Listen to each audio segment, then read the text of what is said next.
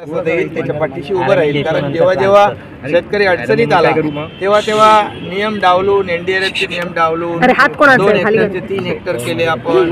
नियम अं, म्हणजे निकषात न बसणारा देखील निर्णय शेतकऱ्यांच्या हितासाठी आपण घेतलेला आहे. त्यामुळे कांदा उत्पादक शेतकऱ्यांच्या पाठीशी देखील आपले सरकार पूर्णपणे उभं राहील.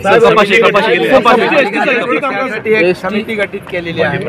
आणि एकंदरीत सगळ्यात सर्व काही विचार करून शेतकऱ्याला दिलासा सर एस टी कामगारांच्या संदर्भात देखील बैठक झाली. काय नेमकं?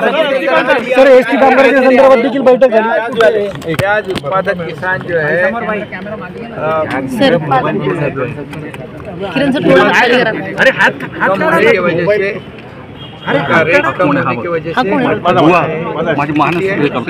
और नाफेड ने खरीदी करना शुरू किया है। और ये सरकार किसानों का सरकार है। जब जब किसान तकलीफ़ में आया तब तब इस सरकार ने उनको है। नियम निकट सब बाजू में रखकर किसानों के पीछे खड़ी रहने वाली सरकार है।